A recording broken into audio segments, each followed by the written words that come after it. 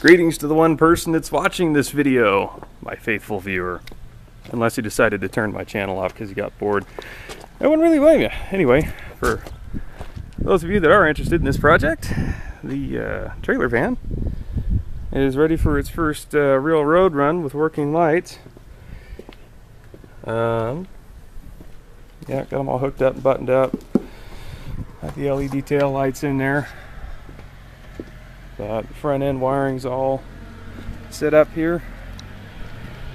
A seven blade plug. I don't have uh, any kind of brake actuator on this thing because I'm not willing to put that kind of money into this yet.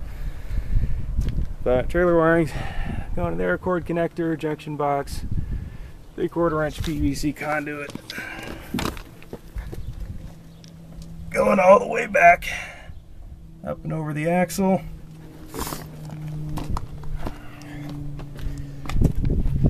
and then up and underneath and into the uh, rear end of the van and the tail light housings. Now the reason I did that, instead of wiring, uh, running all the wire through the van like a smart person would, I didn't want to have to strip all the uh, paneling out of this to do so, and I didn't want to just run wires along the floor.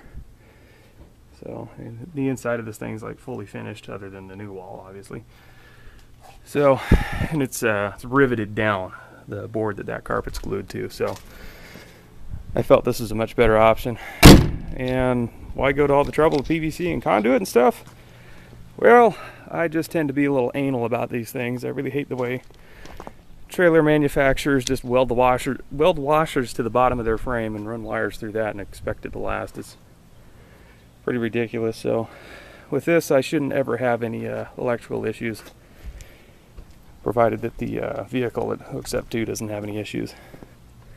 But my wiring's rock solid, 100% sealed up. So, it'll be on the road here shortly.